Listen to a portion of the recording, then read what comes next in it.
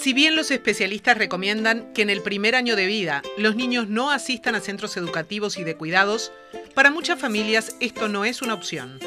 La encuesta de nutrición y desarrollo marca que el 20% de los niños de menos de un año asisten a estos centros y en niños de 3 años llega al 70%. ¿Cómo elegir el mejor lugar? ¿Qué momento es el más adecuado? ¿Qué beneficios y desventajas tiene? Hoy en Subrayado Especial, escolarización temprana.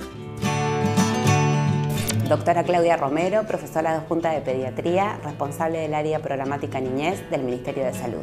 Con respecto a la edad de inicio, no existe una normativa una recomendación general o universal desde el punto de vista del Ministerio de Salud Pública. Sin embargo, en la unanimidad de los médicos que atendemos a los niños, siempre tratamos de que los menores de un año puedan permanecer al cuidado de sus familias. Mi nombre es Claudia Ravera, soy psicomotricista y realicé una diplomatura en vínculo temprano. Indudablemente que en los primeros meses de vida eh, que el niño permanezca en la familia, sin lugar a dudas que, es lo mejor. Eh, Gabriel Corvo, director del área de infancia de la Secretaría Nacional de Cuidados. De 0 a 3 no hay obligatoriedad, sin embargo existe un consenso generalizado de ampliar la oferta porque entendemos es bueno para el desarrollo del niño y también para las familias. Es lo más difícil, que es de 0 a 1, porque eso requiere bueno, obviamente cuidados especiales, infraestructura especial y formación específica, es donde todavía tenemos mayores déficits de, cobertura, pero donde estamos también eh, participando activamente. Algunas incluso corrientes aconsejan entre los 18 y 24 meses que van adquiriendo alguna cierta ¿no? autonomía desde esa edad, sería una edad. No podemos decir que haya un mojón, una edad, no es un tema de edad. Es un tema de cuál es el mejor ambiente, el más adecuado, el más enriquecedor. Y eso puede ser en casa, en casa y o en el maternal. Alejandro Vázquez, eh, doctor en psicología.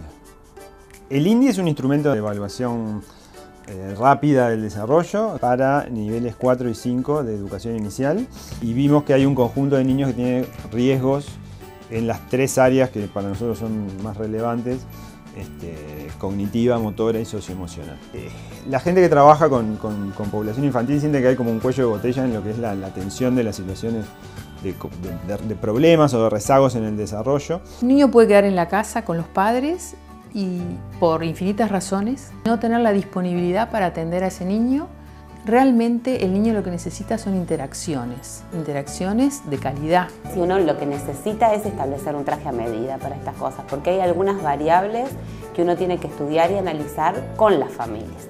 Uno surge de la necesidad de mandar a algún niño a un centro de cuidado, a un centro escolar. Es como muy importante desculpabilizar a las familias cuando hay una necesidad de enviarlo a un centro de cuidado. Y otra es, cuál cuáles son las características que tiene que tener un centro para que yo le elija, ¿no? Un bebé también tiene un proyecto educativo, que a veces se piensa que solo es cambiar pañales, no, de ninguna manera. Está, hay un objetivo que ese niño se desarrolle adecuadamente. Depende de, cada situación en particular, eh, que el niño sea institucionalizado o no y que esto sea bueno o no.